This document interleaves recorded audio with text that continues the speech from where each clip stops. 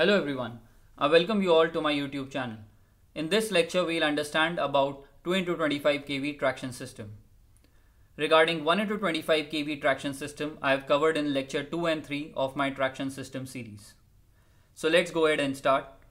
First we'll understand the difference between 1 into 25 kV and 2 into 25 kV. Then we'll understand about the benefits and after that we'll understand about the types of transformer connections we have in 2 into 25 kV system. In 1 into 25 kV as we have seen we have this OCS system that is catenary and contact which are having 25 kV supply and then the running rails buried earth conductor and OPC which are connected all together at regular intervals in order to reduce the rail potential and in order to maintain it as per EN 50 122 1.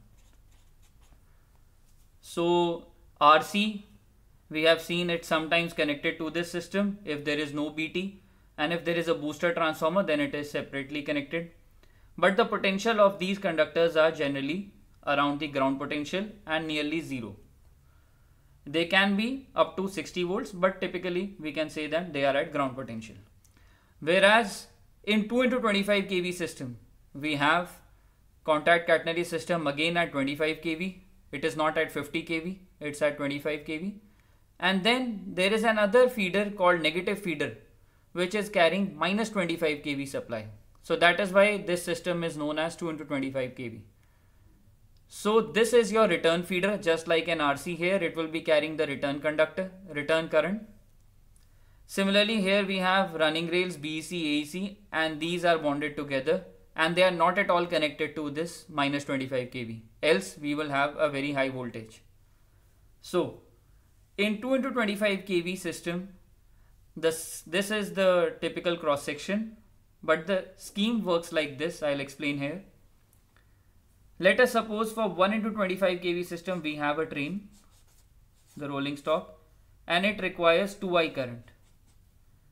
So if it requires 2I current then 2I current will be flowing from the traction transformer coming back from the pantograph going into the train and through the axles it will go back from the running rails and the return system back to the source. So that means 2I current will be flowing in all along this system. Now into 2 into 25 kV system the benefit we get is let us suppose this is your train this is your traction transformer these are your auxiliary trans uh, auto transformers and let us suppose this point is your SSP and this is your SP. So let us suppose the train is between these two locations and again it is the same train and it requires 2I current.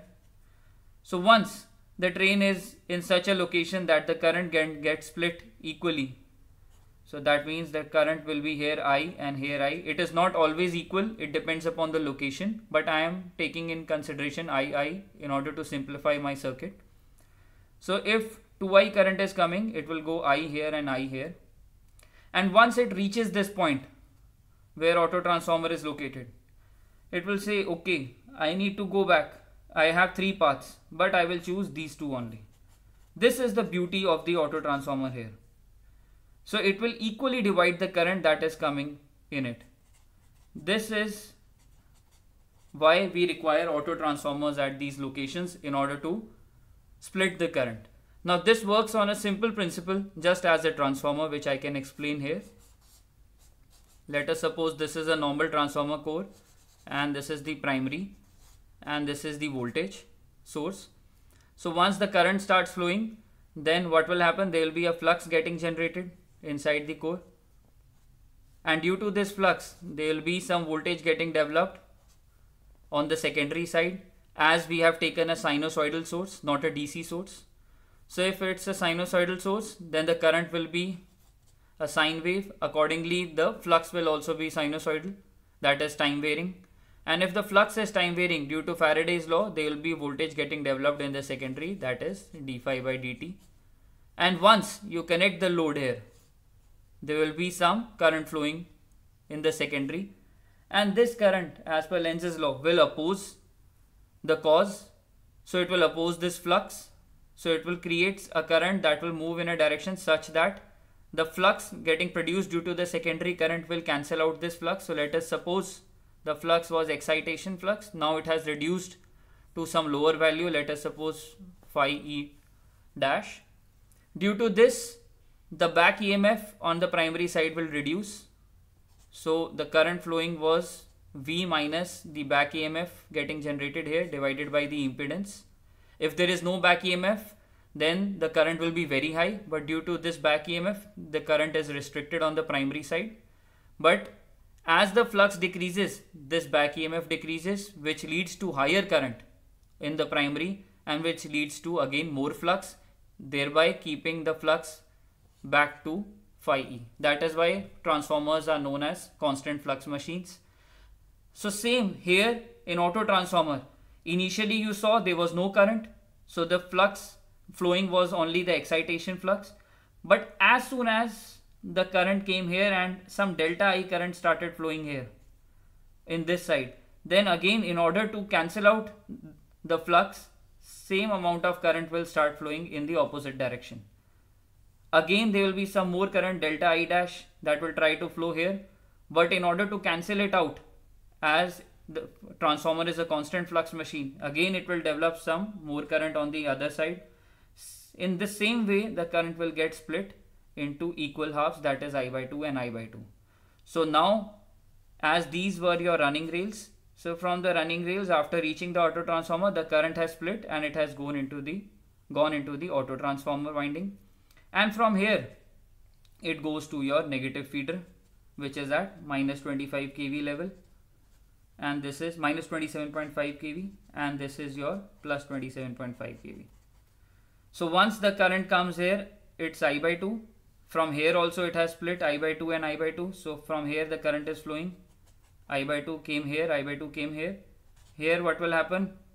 According to Kirchhoff's current law it will be I both the currents will get added and now I current will be flowing across the traction transformer and here again we will receive I from here we saw i by 2 was coming. So i plus i by 2 it will make 3 i by 2 here. And from here i by 2 is coming. It will go here. So i by 2 plus 3 i by 2 will give us 2i. So now you can see that in this section for 125 kV 2i was flowing. But whereas for most of this section only i is flowing. Now due to this the impedance of this system let us suppose it's Z and for this also let us suppose it's Z. So the voltage drop here will be 2I times Z whereas here it will be I times Z. So the voltage drop between this point A and let us suppose this point B and this is also A and B. So the voltage drop has reduced. That means if it would have been suppose 27.5 kV here, we are receiving around 23 kV here. But it would in this case it would reduce to a lesser voltage around 20 kV or more. It can drop more. So due to this benefit that there is lesser voltage drop that means we can keep our voltage 25 kV for a longer duration. That means we can have traction substations at a very long distance if initially we are having here at 30 kilometers or 20 kilometers there the distance between the traction substation can increase to 40 or up to 60 kilometers. Moreover, if you want a train to run at higher speed, that means more current will be drawn. So instead of 2i, it will be 4i. So the voltage drop will increase. But here, it will instead of 4i, here it will be only 2i. So that means if 30 30 kilometer was the distance, here you can keep 30 30 kilometer, but you can run the train at much higher speeds so for high speed railway, generally this system is preferred 225 kV or you can increase your headway or you can run more number of trains. Apart from this, transmission loss also reduces. And moreover to this, as we had a similar benefit of using booster transformer return system that all the current was taken away from the return system of running rails BEC and OPC to the RC here also all the current is taken back to the negative feeder. So you can see the connection here it will be like if this is your transformer. So this part is connected to this and the earthing part is connected to this and this negative feeder which is minus 25 kV is connected to your minus 25 kV part. So this is how the transformer windings are connected in the cross section. Now if we see the voltage which we were talking about, what are the limits that need to be kept are defined by EN 50 163 table 1. It provides the voltage levels that we need to maintain. So the nominal voltage is given by UN which is 25 kV. For Umax which is the highest permanent voltage it is 27.5 kV. Umax 2 is the highest non-permanent voltage which is 29 kV. Umin 1 is the uh, lowest permanent voltage which is 19 kV and Umin is the lowest non-permanent voltage which is 17.5 kV. So once you are doing the traction simulation you need to check that the voltage shall not lie within this range that is 19 to 27.5. If it goes below 19 kV and is in between 17.5 to 19 kV then it is allowed only for 2 minutes that is 120 seconds. And if the voltage is going above 27.5 to 29 kV due to regeneration, regenerative braking, then in this case the voltage allowed is maximum for 5 minutes within this range. And there is one more important voltage which we need to take care is which is the U mean useful voltage which is 22.5 kV for high speed railway which are having speed more than 200 kmph or due to geographical locations and if it is lesser than this speed for conventional railway it is 22 kV. This is provided in EN 50388 and you can check the categories they have been defined in this standard. Now we have seen the EMI benefit which we discussed. I'll explain here briefly but you can also refer to my lecture 3 where I have explained about it. Now in case of EMI what happens? Normally let us suppose this is our system. So the current is going inside in contact and catenary and here let us suppose it's coming outside the paper.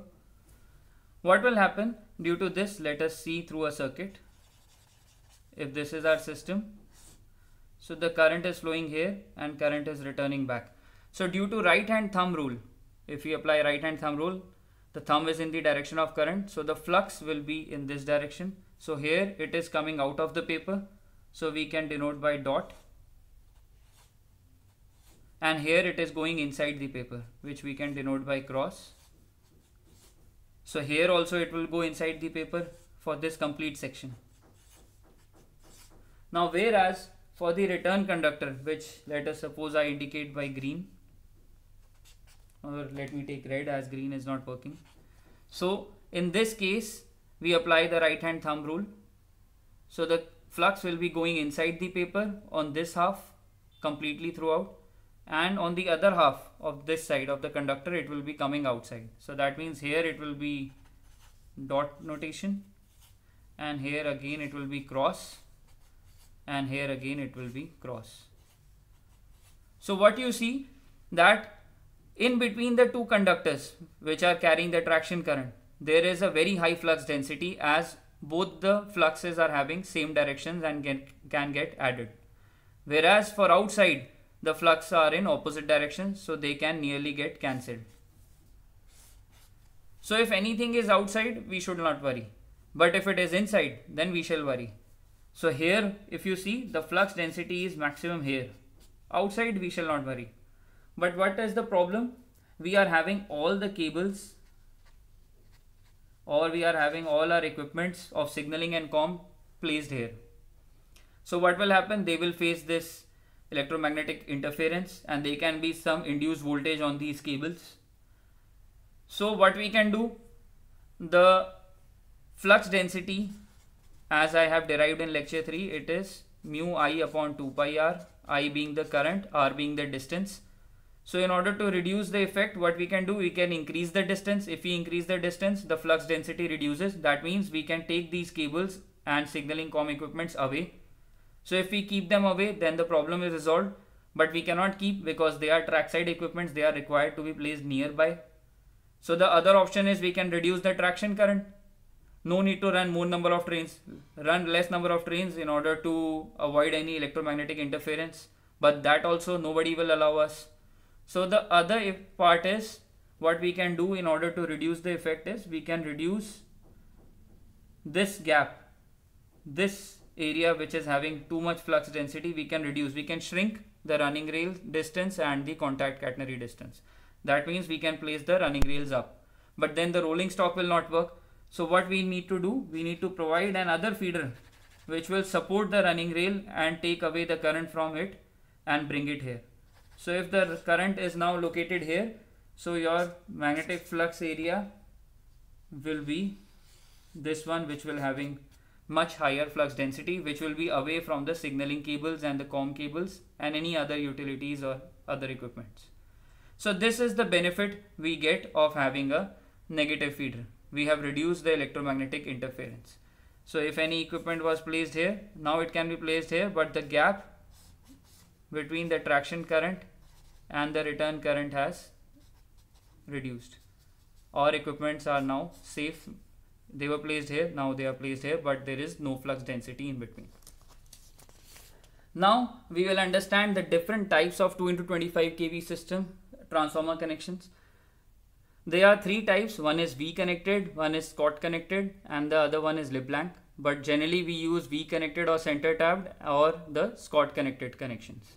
So in this type it is generally same as the 1 into 25 kV system where we are taking line by line line to line voltage that is R and Y from the grid substation.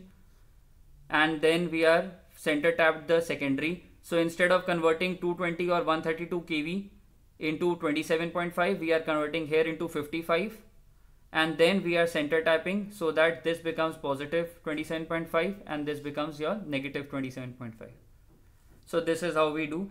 And later in the next substation when it comes after 30 40 or whatever distance then instead of RY we use RB, YB and later on we use BR and so on in order to maintain or reduce the voltage unbalance. But still there is some voltage unbalance due to this scheme because we are using only R and Y there is no B so there gets voltage unbalance at the grid substation or at the PCC. So in order to avoid it we generally go with a Scott connected transformer which is converting three phase supply R, Y, B into a two phase that is single phase here the teaser and the other phase which we are using is the main winding. Generally if there is a very high short circuit power at the grid substation then the effect of voltage unbalance reduces because voltage unbalance is nearly the load apparent power divided by the short circuit power. So if this is very very high then this voltage unbalance is nearly negligible. But if you have a very low short circuit power at the grid, then short circuit level, then what you need to do? You need to go with the Scott connected. So in this, you are converting three phase to two phase. So this is your uh, primary windings. So here, let us suppose this is for the teaser. So this is A, this is D, this is B and this is C. This BC winding has a midpoint at D and this AD is not equal to VL because line voltage is across VAB but this will be lesser than the line voltage. So what it will be we'll check through the phasor diagram but first we'll understand this is let us suppose 132 kV across AC then this voltage converts into 55 kV here and 55 kV here. And then we provide our auto transformers. And we can run our train accordingly. So this is generally done on the one side. That is suppose from the TSS on the right side we are feeding through teaser and on the left side we feed through the main. The both the voltages voltage and voltage between teaser and voltage on this main secondary are having 90 degree phase difference. We'll see through the phasor diagram now. So let us suppose this is VBC and this is VAB which is at 9 uh, 120 degree apart and if you check VAB can be written as the sum of VAD plus the phasor sum of VDB or you can bring it here. You can write VAD can be written as VAB minus VDB and VDB can be written as plus we have reversed the direction so it will be plus VBD now VBD is what? It is half as it is the midpoint so it is half the magnitude but the direction is same as VBC so this will become your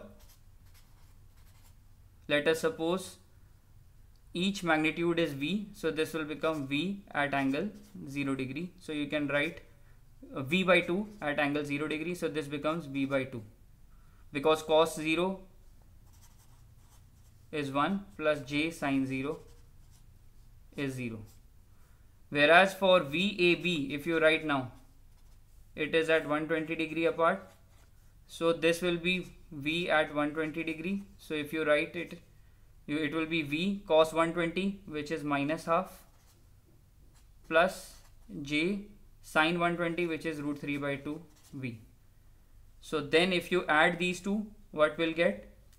As this is 1 and this is 0 so this will cancel out. And then we will be left with only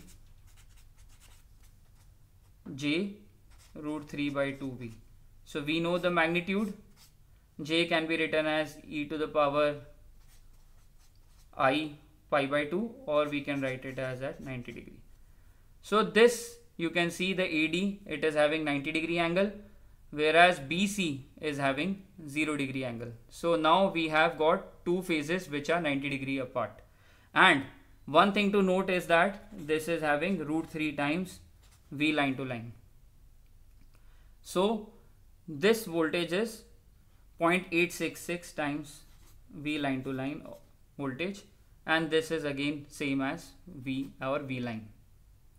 So I hope you have understood. We can discuss in more detail about these connections and I hope you have understood the basic understanding of how 2 into 25 kV system works. So please subscribe to my channel and you can also refer to other traction system videos of in the traction system series. So God bless you all.